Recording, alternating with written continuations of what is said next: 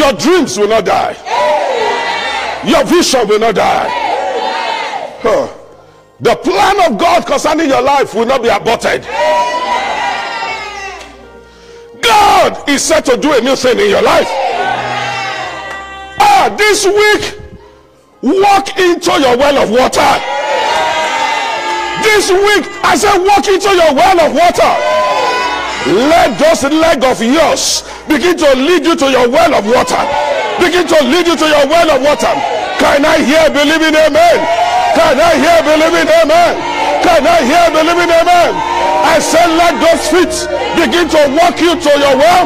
Begin to take you to your well. Begin to take you to your well. Begin to take you to your well. In the name of Jesus.